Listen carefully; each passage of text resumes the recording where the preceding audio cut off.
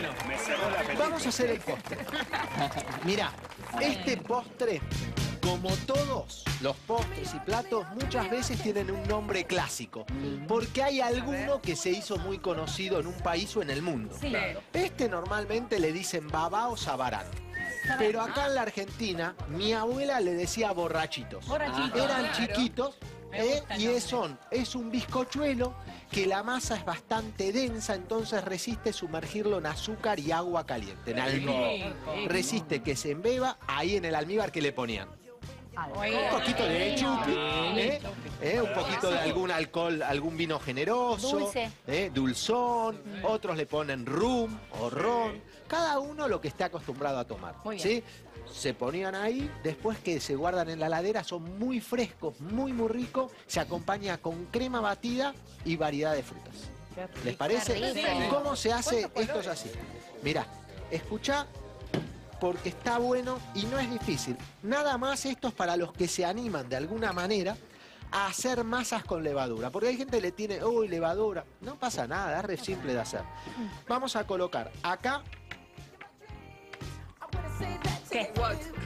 azúcar. Muy bien. Bien. Muy bien. Sal la dejamos para dentro de un ratito. Bueno. Azúcar. Poquita. Poquita sal. Sí. Poquita para todo esto. Esto va- van a salir. Hoy la forma que les voy a dar es de rosca. Bien. Vamos a- y con esto salen dos buenas roscas. Bien. ¿sí? Huevo. Las vamos. Toco los huevos. Una para mí y otra para los ¿eh? Ahí ay. está. Una vez que tenemos acá, le vamos a agregar leche. Ahí está, Verónica. Acordate, este recipiente, este envase que se hace, se guarda en la alacena, pero una vez que lo abrís, es lo mismo que un sachet de leche. A la heladera A la heladera. rápido. Si haces el desayuno y hay uno que corta su té con leche, no dejes este envase afuera. Sacás un poquito en una taza, en una jarrita, el resto a la heladera, porque cuanto más tiempo está en la heladera, más tiempo queda intacto. ¿eh? Ponemos la leche. Ahora vamos a agregar la Verónica. Sí. ¿Cómo anda la Verónica? Sal. Sa- eh, levadura. ahí, levadura, no. Yo nombro el producto que no puse, te lo, para explicártelo. Sal. Ahora, levadura, acordate, la levadura la mata o la inhibe, evita que se Se multiplique eh, rápidamente la sal y el frío. La mata totalmente una temperatura excesiva. Así que con las recetas, ahora que está disuelta la levadura, hay huevo, leche y demás, nos podemos, ya ponemos la sal. Muy bien. Eh, acordate entonces la levadura, si pones el líquido muy caliente, la matás. Si pones el líquido frío, está todo bien. Tarda más en fermentar. Pero eso, por un lado, es malo porque tardás más tiempo en cocinar, pero por otro lado es bueno porque desarrolla mejor sabor. ¿Sí? ¿Estamos? Perfecto. Ahí. Bueno, es como la masa de un pan, pero dulzona. Ya se viene, chicos, estamos ¿Qué? acá nomás de diciembre, ¿eh? Estamos. Ya. Semana que viene. La semana que viene, diciembre, ¿saben lo Mes que de vamos a estar cocinando? ¿Qué? Vamos a estar cocinando mucha cocina de esa que los argentinos usamos para las navidades, el Sí. año nuevo, cocina de fiestas. Así aprendemos. ¿eh? Este año quiero cocinarle algo a mi familia. Bueno, este Ah, año era ahora. alguna idea te vas a llevar. Bueno. Alguna idea Vas a salir buena de acá. Claro. Sí. O algo que prepares vos y después digo, ay, lo hice Ay, yo. Dale, Ari. Podemos llegar a un arreglo. Cada lo que sea. entregará algo. Bueno, Ay, ay, ay. ay, lo estoy repensando. Mejor hago delivery. después. No, jamás. Ponete una pila y cociná. Fíjate. No, no, no. Pensalo. La estoy aprendiendo en serio, ¿eh? Bueno, ¿Sí? Pues ya al- Purita, Sí. ya le pregunté, ¿eh? ¿Qué me preguntó? Ya le pregunté, ¿eh? Ya le pregunté. No. ¿sabes qué? Porque con- eh, estaba pensando en la papa arranque. que hablamos y en la cebolla. ¿Qué Sí. propiedad tiene la cebolla? La cebolla, Cuando- eh, para la gente que tiene hipertensión es muy buena la cebolla porque baja la, la presión arterial, Sí. tiene potasio en la composición, tiene agua, es de la familia. Viste que, a ver, cuando uno tiene presión se indica siempre comer ajo y cebolla.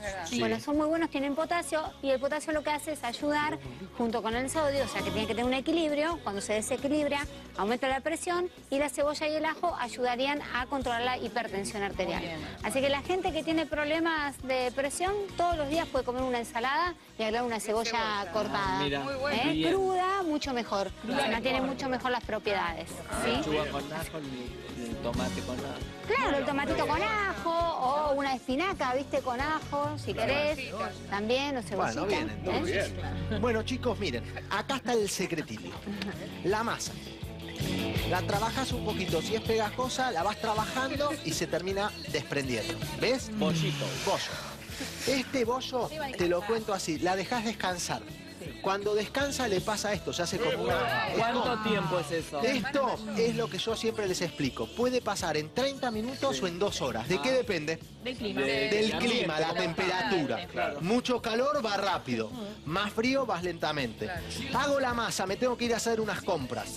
Me voy al almacén, digo, voy a tardar una hora, la dejo en la ladera. Entonces va más lenta, pero le pasa esto. Cuando vuelvo a la media hora, agarro manteca para purita.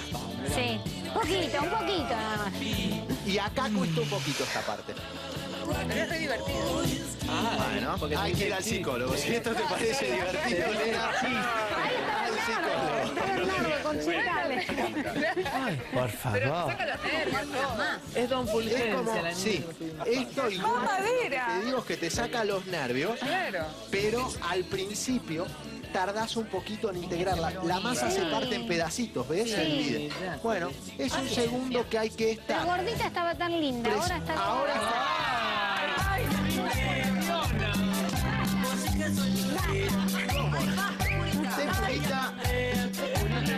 de chiquita. Corten eso, por favor, y úsenlo. Dios mío. Pero ¿cuáles fueron sus palabras? Qué gordita, la masa estaba mejor, estaba más armada. Ahora mira, toda desarmada. Bueno, espera, espera. Ay, basta. Manteca Me llamo otra vez. No Andrea. No pongo todo de una vez porque es más fácil. Eh, de a poquito. De a poquito, de a poquito. Dame eso que te llevaste, nenito. ¡Hola, Chino! Buen día, chino. ¿Cómo andás? ¿Todo bien? No saluda al chino. Está de mal humor. Buen día, ¿está de mal humor? Está de muy mal humor. Uy, pobre. Tuvo una agarrada muy grande con la novia de Gonzalo. ¡No! ¿En serio? La cara de Gonzalito. Cayó Gonzalito de la nada. Acá está cerca y Alguna esquirla va. Vamos. Miren esto. Fíjate. Le puse manteca, vos decís, uy, este pibe es un enchastre tremendo. No. Ahora eso no se vuelve a despegar nunca más. Que Del enchastre, mármol. nunca más Alexis se, Se necesita. ¿Puedo aprovechar para mandarle un beso a mi hija que cumple nueve años? Mándele un beso. ¡Feliz cumple, Ele! Después le hacemos llegar el regalo. Es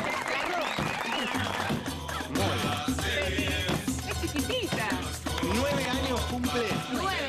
Hacen la fiesta, hacen un Sí, festejo. sí, hoy ¿A qué hora hay que pobrecita toca que cocina mamá. Ah, mi ¿qué vas a preferida.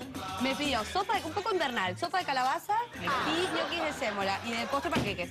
Ah, bueno. Potentosa. Van amigas, hay amiguitas en la casa. Sí, amiguitas, familia, vienen todos. Ah, Bueno, son 43. Sí, un montón. qué No hora? entendió qué voy a hacer. ¿A qué hora tengo que estar? Y hoy falta al colegio y nos está mirando, por eso Ay, qué bonito, ¿eh? Bueno, Está muy un bien. beso feliz. Un regalito que beso. falta del colegio. Chicos, miren esto. ¿Vieron que se pegaba toda? Mirá lo que puedo hacer. Hay que. La van golpeando. Esto es lo mismo que amasar. ¿Se ve? Sí. Golpe, golpe. Pollo. Ahí queda casi como le gusta a Puri. Purita. Gracias, muy bien. Lisita y gordita. Cambió su origen, está bueno. Gordita y suave. ¿Qué hicimos hasta acá? Hicimos la masa, la dejamos fermentar, le incorporé la manteca, la volví a amasar, se vuelve a despegar. Cuando se vuelve a despegar, miren esto, la dejo tapada media hora, una hora, hasta que vuelva a crecer. ¿Sí? Acá. Vamos a hacer así. Espátula. Este es el molde que elegí. Ah. Molde de sabarán. Sabarán. ¿Sí? Cualquier, si no tenés este molde, tenés uno de bizcochuelo, también va. Sí, perfecto. ¿Ok? Masa. Miren. Ahí. Masa. ¿Saben qué? Hago bollitos. Sí. ¿Puedo un minuto? Mira, Cuidado. Poquito de harina. dedo gordo con harina. Ah, El ombligo. Como el ombliguito, Mira. empezás a... No lo hagas bruscamente porque rompes la masa. La masa es elástica, pero despacito. Con el peso va. Con el Mueve la peso. carnaza, mamasa. Con el mismo peso, vos vas ahí, tac, estirando eh, un poquitito. Ahí está. Mueve la carnaza, mamasa. Mueve la carnaza, mamasa. Mueve la carnaza, mamasa. Miren. ¿Se ve? sí. Bueno, ¿qué vamos a hacer ahora? Por ahora la vamos a dejar fermentar. ¿Sí? Tiene que seguir fermentar. ¿Qué tiene que hacer? Volver a crecer. ¿Se entiende? Claro. ¿Entendieron en casa? Sí. ¿Seguro? Bueno, ¿comieron alguna vez estos postres en algún restaurante? Hace mucho. Es un postre que es riquísimo. ¿eh? Estos postres que uno cuando los ve decís será rico, cuando lo comes decís, che, qué espectacular que es esto. ¿Eh? Te va a sorprender. ¿Estamos? Mira, A ver. estos fermentan. Sí. Déjalos que crezcan casi hasta el borde. Bien. Los tuve un ratito, los hicimos Sí. recién, estuvimos con Bernardo y demás. Todavía le faltarían 10 minutitos más que llegue acá al. Lo que hago es, se van al horno. Tiempo de cocción, 180 grados, 18 a 20 minutos. Bien. ¿Sabes lo que pasa en 18 a 20 minutos? ¿Qué pasa? ¿Qué pasa? Claro.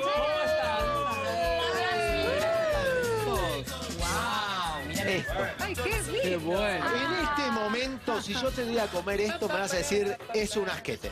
no? Es un masacote esto. ¿Sí? Tiene miga, pero no tiene gracia. ¿Por qué? Porque los hicimos a propósito. Las recetas que te damos es para que tenga una miga cerrada, para que pueda absorber mucho almíbar y no se rompa todo. Si yo agarro una vainilla, Sí. esto es lo mismo que acá. Yo hago un bizcochuelo cualquiera. Agarro el bizcochuelo, lo sumerjo en almíbar, lo saco todo desarmado, como la vainilla. Un segundo va en, el cho- en la chocolatada, la dejas cinco segundos, se desarma, va al fondo. Bueno, eso es lo, por eso planeamos una miga muy cerrada y que pueda soportar la absorción de mucho líquido. ¿Cómo voy a hacer acá? Hay dos técnicas. Tengo azúcar y agua. ¿Qué cantidad tenemos de azúcar y agua? ¿Qué cantidad? ¿Eh? 300 de azúcar. Merci beaucoup. Merci bien. Eh, ¿Estás seguro, no? no? No lo hizo al revés como ayer, ¿no? Bueno, no, por eso. ¡Equivocaste, chino! Se lo dijo Por la las dudas, digo, por las dudas. ¿eh? Un litro de agua, 300 gramos de azúcar, lo llevas a ebullición. Se ¿eh? ríe Un litro de agua. tre- Claro, si pones un kilo de azúcar, 300 de agua, queda un bloque duro cuando se enfría. Eh, esto después lo come mandinga. Que no es lo mismo que mahón. ¿Qué tengo? Azúcar, agua, un litro de agua, 300 de azúcar, lo llevas a ebullición, cuando hierve se funde el azúcar. Ah. ¡Ave María! Amén.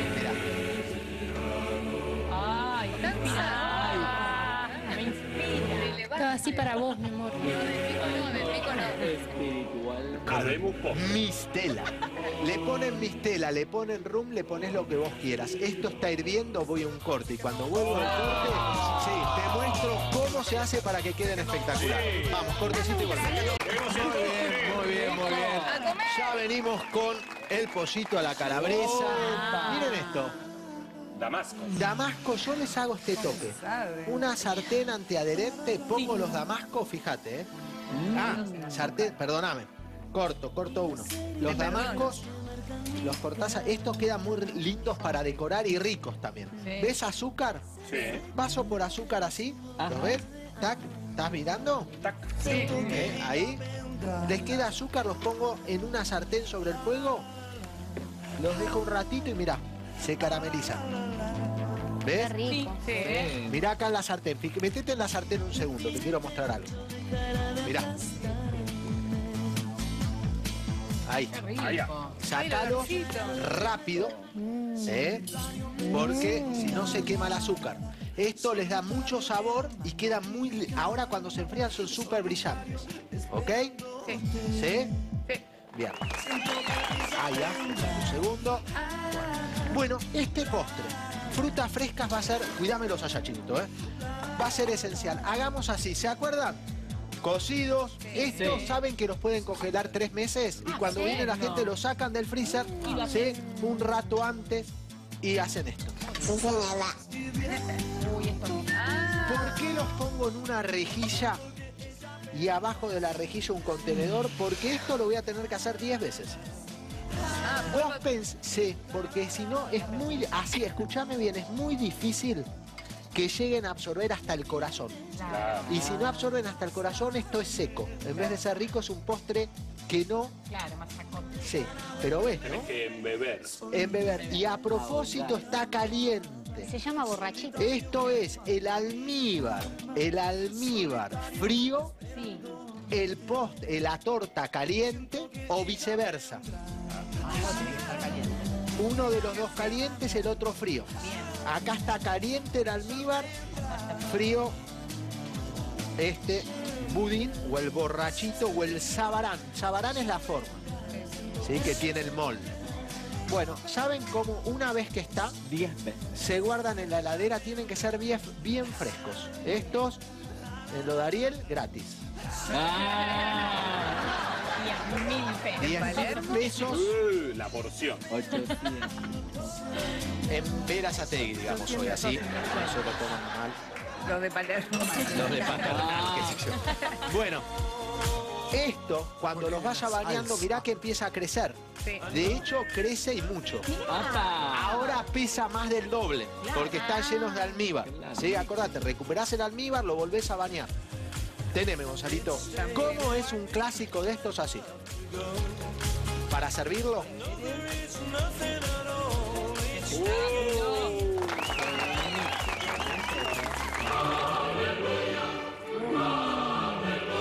crema.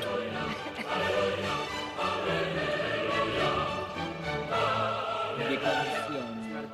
Esta manga se llama la punta Santo Honoré. Tiene un corte en B. ¿Ven que deja como estos copitos? Eh, queda agradable, supongo. Espero que casa. ¿Ya viene hecho este vos con tijera? No, esta punta la podés hacer con uno metálico. Esta en este caso es hecha así, comprada, es una punta clásica de la pastelería. Ah. San Honoré. San Hay una torta clásica que se llama Santo Honoré. Por eso poníamos esa música. Claro. ¿eh? El mus- musicalizador estrella lo sabe. Ahí está. Muy bien. Esta torta, ¿saben a quién le encanta? Alguien. Al señor Esteban Mirol. Sí, que hoy cumple años. No sé cuánto. Se dice. No, no, no. No, no, No, no, no. la- yo no voy a, yo no, No, me no, animo a decir los años que, los, que cumple. Que lo diga él, a ver si todavía se me arma un lío tremendo. Yo le daba muchísimo menos. Rinaldi sabe, ¿eh? ¿eh? Sí, Es no un lo gran deportista, decir. por eso parece. es un gran deporte. Maratonista. ¿Se acuerdan los damascos? Sí. Damascos caramelizados, Mira. quedan crocantitos. ¿Podemos ir cortando ahora? para- Ahora, y pero ¿y Mirol qué hacemos? Si viene a brindar Mirol, ¿eh? ¿cómo hacemos?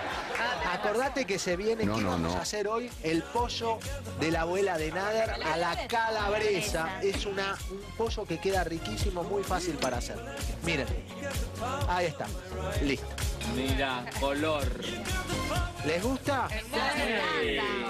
Ahí. Está a punto de caramelo por lo que yo percibo, ¿no? ¿Cómo lo ven?